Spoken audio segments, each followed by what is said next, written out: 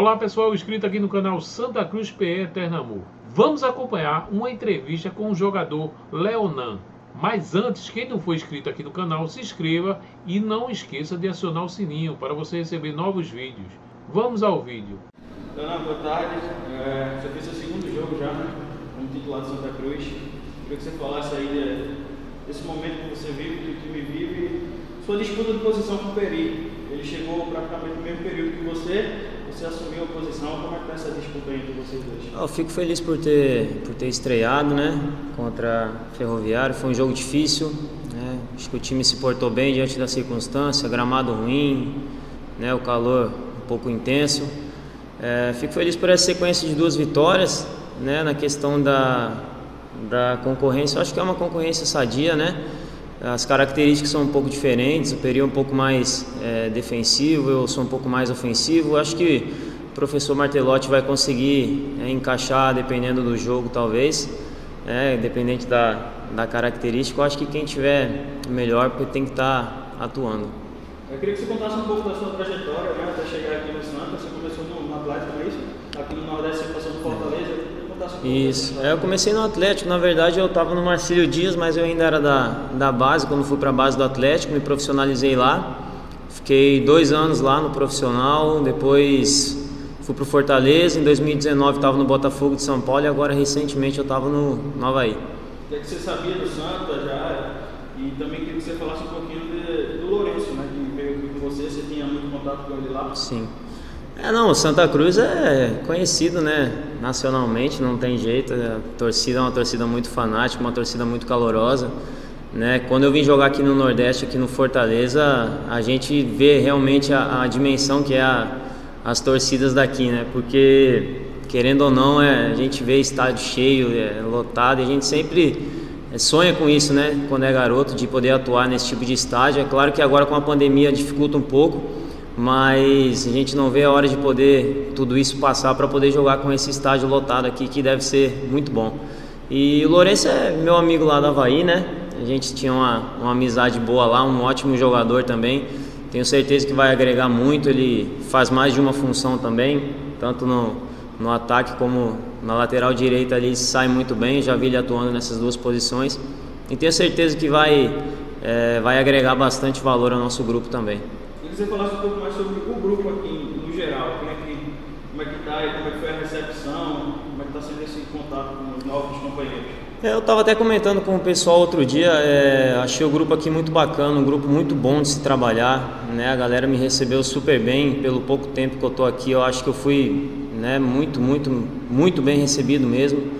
Né, todo mundo é, é, muito amigo, todo mundo conversa com todo mundo, não tem, né, como a gente costuma falar no meio do futebol, a panelinha, né? É, eu achei um grupo muito amigo, um grupo muito dedicado, muito trabalhador também. Eu acho que a gente está no rumo certo, no caminho certo para os nossos objetivos aí. É, apesar de você ter feito dois jogos já, torcida já assistiu, mas eu queria que você fizesse um, mostrasse um pouco, contasse um pouco né, das suas características pode esperar mais o que do Leonardo Jorge? Ah, eu acho que é até meio clichê falar isso, né? Mas o que a torcida pode esperar realmente de mim é muito empenho, muita dedicação. Eu sou um cara que trabalho muito, me esforço muito no dia a dia para poder corresponder à altura no jogo.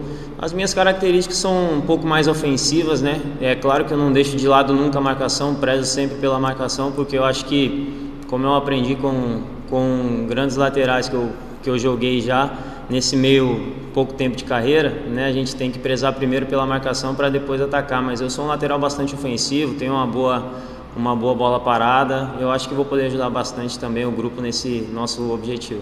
Você falou aí que é um lateral bem ofensivo e no jogo passado o Martelotti colocou o Peri no segundo tempo, mas deixou você em campo, você foi para uma linha mais avançada. É uma função que você também pode fazer tranquilamente? Sim, sim. Inclusive né? Quem, no, quando eu surgi no Atlético, eu não tive oportunidade de jogar na linha da frente, mas depois no Fortaleza com o Ceni, ele me utilizou bastante nessa linha da frente. Desde então eu venho fazendo essas duas funções, tanto na lateral esquerda como na, na linha da frente. Para mim não tem dificuldade nenhuma.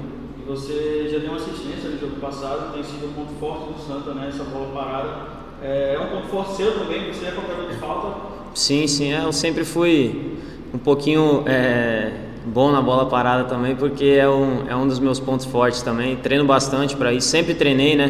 Desde falta, é, falta lateral, escanteio, pênalti, eu sempre me dedico ao máximo na bola parada, porque eu sei que é uma coisa que decide jogo hoje em dia. É um detalhe que a gente tá, tem que estar tá sempre ligado. É claro que não só a favor, mas também contra, a gente tem que estar tá ligado. Então é sempre bom ter bons batedores. O Didira também é um bom batedor, tanto que no jogo passado ele, ele acabou fazendo um, um gol de falta, um belo gol de falta. Então a gente tem que treinar bastante, trabalhar bastante isso para ser um diferencial também. É, eu queria que você falasse também agora sobre esse momento do Santa, né? Líder, abriu uma vantagem muito grande para fora do G4, é, mas não pode acomodar, né? Não, não. É classificar o quanto antes. Exatamente, de forma alguma. Eu acho que a palavra acomodação não pode nem existir aqui dentro, porque nosso grupo é tão bom, tão, tão focado no que quer eu acredito que todos os jogadores têm ciência disso, que não vai ser fácil, que a gente não pode de forma alguma achar que já está classificado ou entrar numa zona de, de comodismo, não. Né? A gente sabe que tem que trabalhar dia após dia, pensar jogo após jogo. Essa semana já começa a semana do 13, vai ser um jogo dificílimo também. E a gente sabe que tem totais condições de, de ir lá e fazer um bom resultado e continuar nessa caminhada que a gente está, nunca se acomodando, mas sempre buscando mais. E queria que você falasse um pouquinho também sobre o 13, o próximo adversário. É um time que está lá embaixo, mas como é o discurso que todo mundo está dizendo, o Santa é o time a ser batido, então tem que ter atenção. É, muita gente vem falando isso, né? O Santa Cruz realmente vive, o nosso time vive um momento muito bom. Né, desde o início do ano chegou na, na final do, do, Pernambucano, agora na Série C também está tá bem embalado, está com uma, uma boa sequência de, de vitórias. O time do 13 é uma boa equipe, eles estão com 13 pontos, se não me falha a memória estão brigando por uma vaga no G4 também. Eu tenho certeza que vai ser um jogo tanto para nós quanto para eles divisor de águas, né? Porque eles hoje são o quinto colocado, eu acho, se não me falha a memória. E é o primeiro time fora da, da zona de classificação. Então a gente quer distanciar deles e eles querem chegar mais perto de nós. Então tem tudo para ser um grande jogo. É, Campina Grande é uma cidade muito quente, mas o Santa joga lá às 7 horas da noite.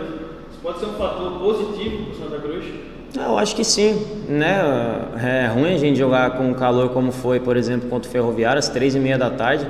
Eu acho que acaba sendo um fator assim preponderante que de, define muita coisa, principalmente quando é, foi das condições que foram contra o Ferroviário. Mas eu acredito que o jogo sete horas da noite pode ser até um jogo mais bem jogado, melhor de se assistir do que um jogo, por exemplo, às três e meia da tarde, como foi contra o Ferroviário, que aí já você já tira toda a qualidade de um jogo, porque é desumano, né?